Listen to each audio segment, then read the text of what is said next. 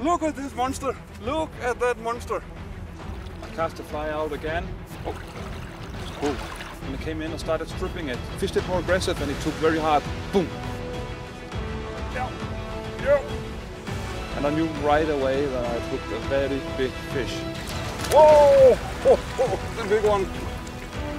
Yes, it's a very big male. It's definitely over 20 pounds this one. I think this is the heaviest fish I've ever had on. I simply can't get him anymore. Big fish. Jesus. Yes! what a bloody dish! Look at this monster. Look at that monster. It's 109 centimeters long.